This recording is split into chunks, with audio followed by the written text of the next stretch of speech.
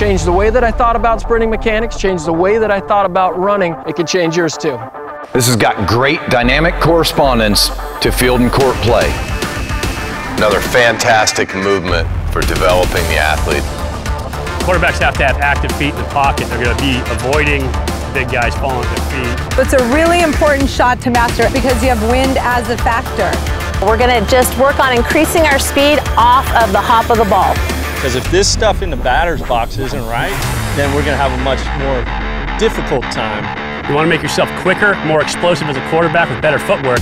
We love advanced movement because it sets the athlete up to have success in their sport. Add it to your workout and watch how quickly your footwork improves. It will help develop you to be the best athlete that you can be.